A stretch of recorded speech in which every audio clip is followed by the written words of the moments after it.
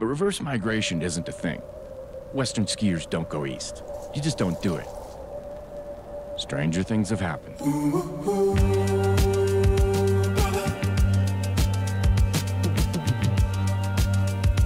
First place we went on the East Coast was the Mad River Glen, and it was just insane. Maybe the snow's not that great and it's freaking cold, but people are just fired up.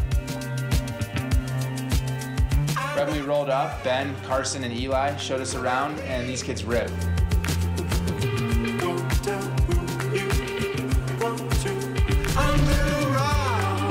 These kids are just going in and out of all these trees, boosting off, you know, 20 foot cliffs onto sheer ice and flat landings.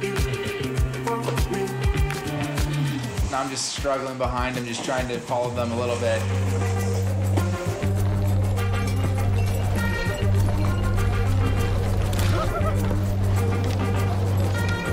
Got to the top of one of the lifts, and Carson was talking to Ben. He's like, "Oh man, I kind of want to ski that. It's a little double stager, bushwhacking the whole way to get up there."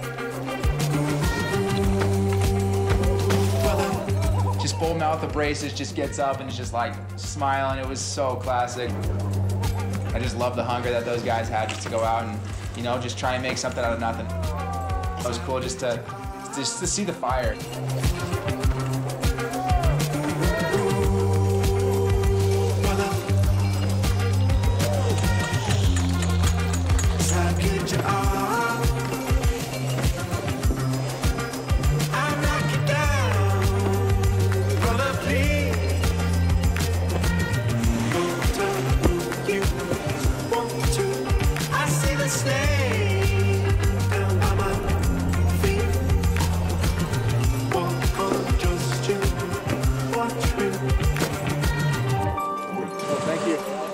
You know, just to see that excitement and to see them just so pumped up was uh, honestly one of the coolest things I did all season.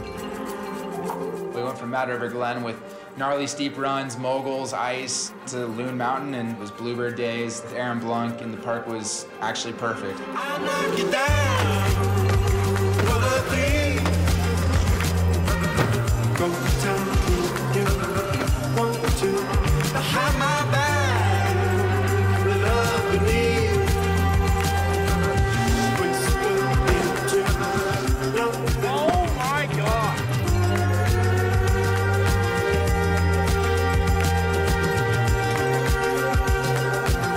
Pretty cool to get out there and see a different side of it.